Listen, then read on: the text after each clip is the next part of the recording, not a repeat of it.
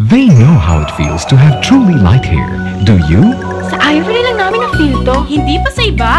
Yung iba, di kasing light ng ivory. For truly light hair, Ivory Ultra Mild Shampoo and Conditioner. Others may have harsh ingredients that can harm hair, not Ivory. Totoong magaan. Oh, mild!